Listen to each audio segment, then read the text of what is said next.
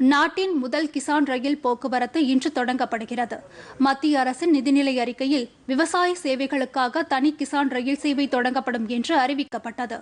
இதன்படி முதல் கிசான் ரயில் போக்குவரத்து இன்று தொடங்குகிறது. மகாராஷ்டிர மாநிலம் டெவ்லாலியில் இருந்து பீகார் மாநிலம் தானாபூருக்கு முதல் ரயில் இயக்கப்படுகிறது. இன்று காலை பதினோரு மணி அளவில் இந்த ரயில் டெவ்லாலியிலிருந்து புறப்படுகிறது.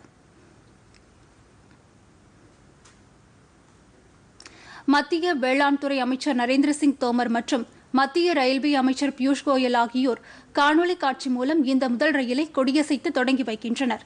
இந்த ரயில் மொத்தம் ஐநூற்று பத்தொன்பது கிலோமீட்டர் தூரத்தை முப்பத்தி இரண்டு மணி நேரத்தில் கடந்து நாளை மாலை ஆறு நாற்பத்தி ஐந்து மணிக்கு தானாபூரை சென்றடையும்.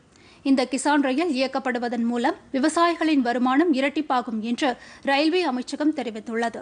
இந்த ரயிலில் காய்கறிகள் பழங்கள் மலர்கள் மற்றும் வெங்காயம் உள்ளிட்ட விளைபொருட்கள் கொண்டு செல்லப்படுகின்றன. காலதாமதத்தால் விவசாய பொருட்கள் அழுகுவதை தடுக்கும் நோக்கத்திலும் தடையற்ற விநியோக சங்கிலியை ஏற்படுத்தும் நோக்கத்திலும் இந்த கிசான் ரயில் போக்குவரத்து தொடங்கப்பட்டுள்ளது குறிப்பிடத்தக்கது.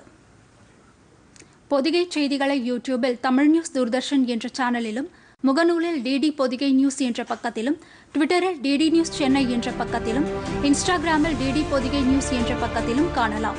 மேலும் உங்கள் கருத்துக்களை Podhigai DD news at Gmail dot com என்ற மின்னஞ்சலில் தெரிவிக்கலாம்.